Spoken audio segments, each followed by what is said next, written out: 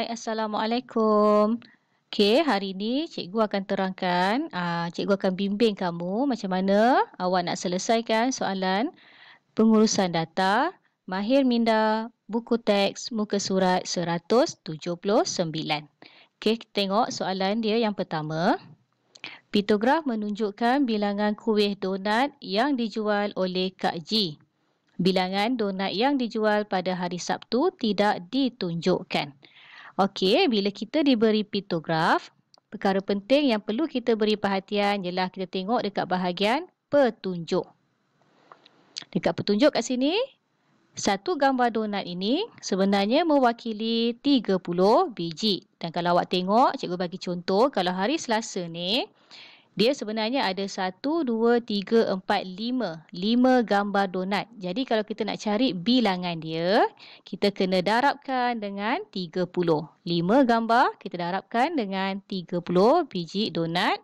Dan kita akan dapat jumlah donat yang sebenarnya pada hari Selasa ialah seratus lima puluh. Jadi dekat sini nanti awak selesaikan untuk hari Rabu, Kamis dan juga Jumaat. Kita tengok kepada soalan A. Kira bilangan donat yang dijual pada hari Sabtu. Jika jualan pada hari itu adalah dua kali jumlah jualan pada hari Jumaat. Jadi kita rujuk pada hari Jumaat, dua kali dekat sini menunjukkan yang kita kena darabkan dengan dua. Kita tengok soalan B. Berapakah purata? Bilangan donat yang dijual dalam sehari. Okey, cikgu harap awak masih ingat lagi macam mana kita nak cari purata. Purata ialah kita ambil jumlah, kita bahagikan dengan bilangan hari. Okey, jumlah ni merujuk kepada jumlah donat lah.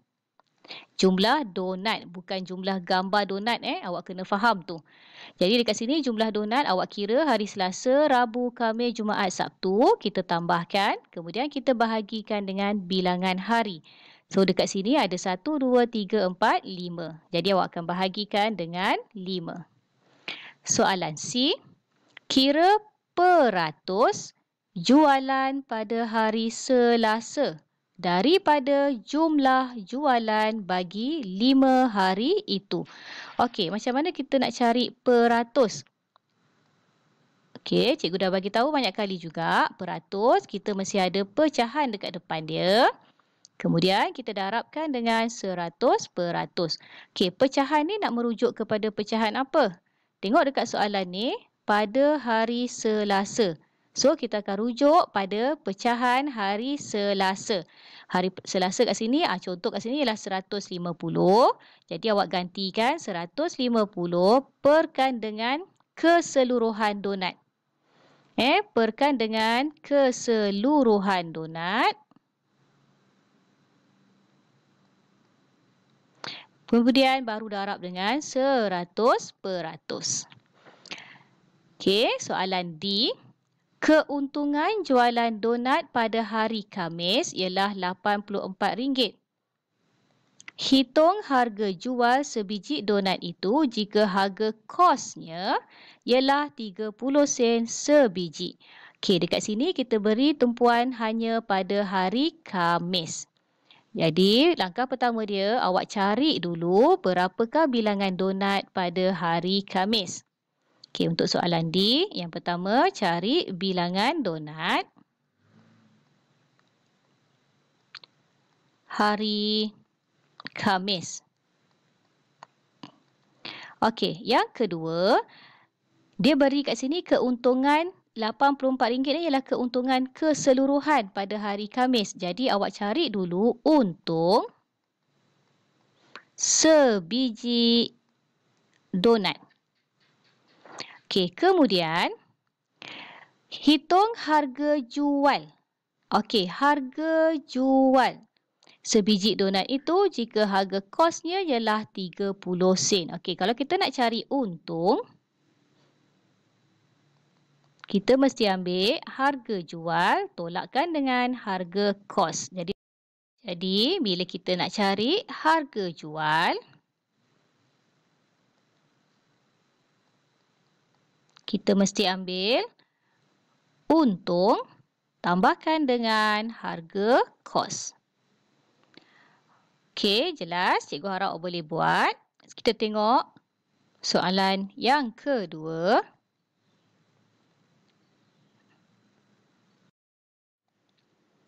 Semasa waktu pembelajaran pendidikan jasmani, Cikgu Farzi meminta empat orang muridnya menjalani latihan larian di balapan dalam masa 10 minit. Jarak larian mereka direkodkan seperti carta palang di bawah. Kita perhatikan carta palang yang diberi. Dekat sini ada nama Akif, Omeng, Prem dan Chu. Okey, perkara pertama sekali kita mesti tahu bacalah. Eh, kita tahu baca ah carta palang ni. Kalau kita tengok dekat sini, Akif dekat tengah-tengah antara satu dengan dua. Jadi satu dengan dua tengah-tengah dia, nilai untuk Akif ini ialah 1.5 km. Okey, cikgu tulis dekat atas ni. Kemudian kita tengok pada Omeng. Omeng ini tepat pada satu. Jadi jarak larian dia ialah satu kilometer. Prem dekat sini tepat pada 2. Jadi jarak prem ialah 2 km dan jarak cu ialah 1 km. Soalan A, siapakah yang mencatatkan jarak larian paling jauh? Jadi awak boleh rujuk dekat sini dan soalan minta siapakah. Jadi kita akan beri nama bukannya jarak. Soalan B, Jarak yang dilalui oleh siapa dan siapa adalah sama iaitu sejauh berapa kilometer. Okey, awak rujuk daripada carta palang. Soalan C. Hitung purata jarak dalam km yang dilalui oleh setiap orang murid. Jadi dekat sini kita kena cari purata. Okey, purata ialah jumlah kalau dekat sini kita merujuk kepada jumlah jarak larian setiap orang murid ni. Kemudian kita bahagikan dengan bilangan murid. Okey, soalan D. Jarak yang dilalui oleh Omeng telah merosot. Jadi bila perkataan merosot ni maksudnya dia berkurang eh merosot sebanyak 0.3 km berbanding minggu lepas. Hitung jarak yang dilalui oleh Omeng pada minggu lepas. Okey, berikan alasan munasabah yang menyebabkan kemerosotan tersebut. Okey, mula-mula sekali kita kira dulu yang merosot tu berapa. Okey, merosot sebanyak sifar perpuluhan 3 kilometer. Bila merosot tadi, cikgu dah bagi tahu dia semakin berkurang. Jadi kalau semakin berkurang, kita kena lakukan operasi tolak. Jadi awak lihat daripada carta palang ni, fokus kepada nama Omeng. Kalau dekat sini, jarak yang mula-mula ialah 1, 1 kilometer. Merosot sifar perpuluhan 3 kilometer. Jadi kat sini awak boleh buat 1 kilometer tolak dengan sifar perpuluhan 3 kilometer untuk dapatkan jarak yang dilalui pada minggu lepas. Okey, berikan alasan munasabah yang menyebabkan kemerosotan tersebut. Okey, awak rasa-rasa kenapa uh, Omeng punya prestasi ni merosot pada minggu lepas berbanding daripada minggu ini? Cikgu harap awak boleh fikirkan alasan satu saja alasan yang munasabah. Soalan yang ketiga. Atmosfera bumi terdiri daripada gas-gas seperti nitrogen, oksigen dan gas-gas lain. Peratus gas-gas itu ditunjukkan dalam catapai di sebelah. Okey, sekarang kita diberi catapai. Catapai aa, ah, dia akan tulis dalam bentuk peratus. Dekat sini kita tengok nitrogen 78 peratus, oksigen 21 peratus, gas-gas lain ialah 1 peratus.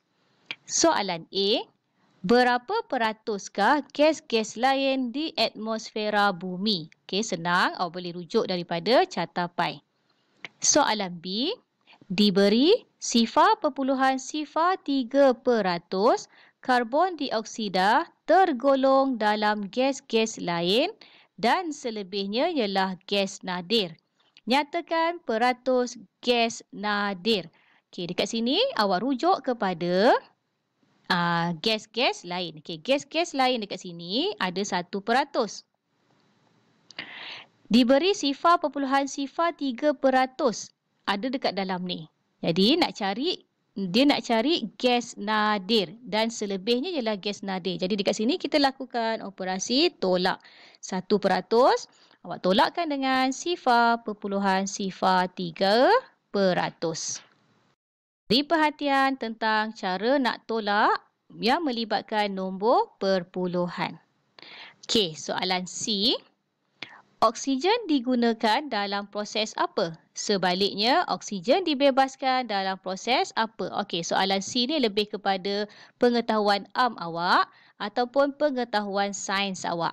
Okey, selalunya oksigennya digunakan dalam proses apa? Kalau kita sebagai manusia, dia gunakan dalam proses pernafasan. Sebaliknya, oksigen dibebaskan. Okey, kita akan dapat oksigen daripada proses fotosintesis. Okey, cikgu terangkan dulu soalan satu sampai soalan tiga sahaja. Dan soalan yang seterusnya cikgu akan terangkan dalam video yang akan datang. Okey, bye. Assalamualaikum.